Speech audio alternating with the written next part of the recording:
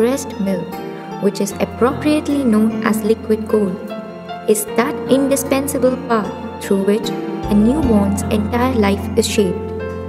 It is a storehouse and also the primary source of nutrients and antibodies.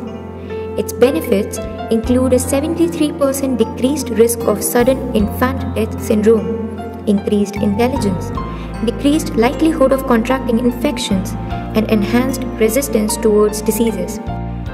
But unfortunately, we as doctors come across cases where the mother's inability to produce enough milk poses a threat to a newborn's well being. Some of the most common reasons are improper latch, not nursing, and pumping enough to meet supply. Certain medications like OCPs, illness, dehydration, and hypopituitarism associated with prolactin deficiency are also known. In India alone,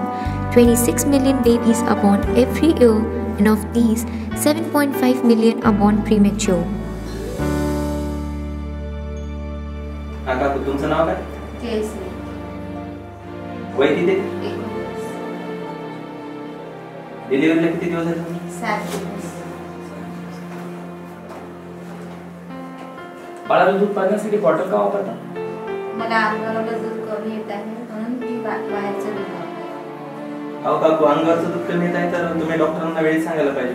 आजकाल बऱ्याच सुविधा उपलब्ध आहेत.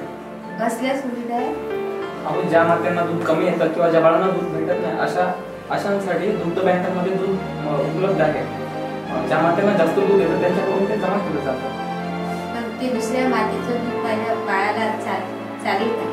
अहो काकू हे दूध बाळाच्या आरोग्यासाठी पूर्ण चांगलं आहे आणि यामध्ये बाळाच्या आरोग्यासाठी लागणारे सर्व घटक उपलब्ध असतात.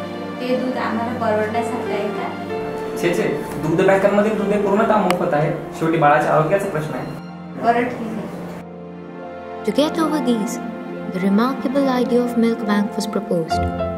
Human Milk Bank is a service which collects, screens, processes, and dispenses by prescription human milk donated by nursing mothers who are not biologically related to the recipient infants.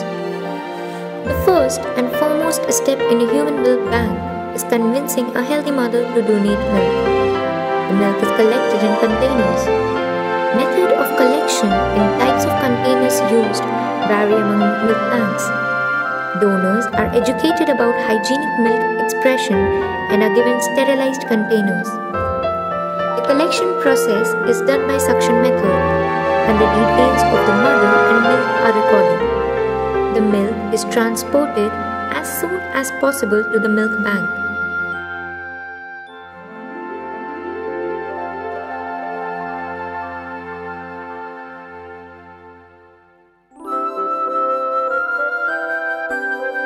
In the milk bank, the collected milk is transferred to sterilized steel containers for further processing of the milk.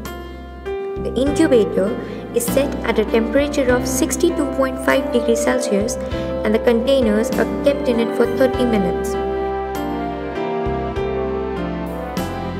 The process of pasteurization takes place to free the milk from bacteria and viruses.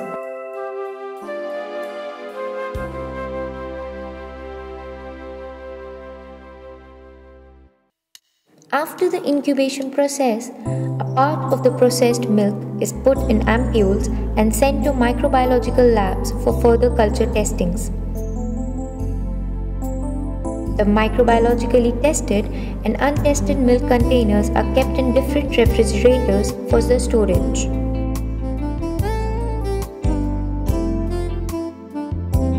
The reports are screened and the tested and processed milk is further made available on request.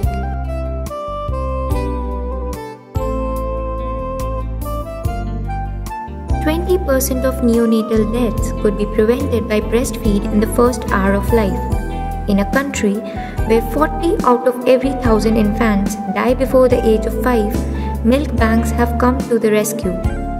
India registers 50,000 births every day but has only 14 milk banks. Given the high incidence of sepsis and a large burden of premature births, this intervention will have the potential to result in substantial savings for the nation.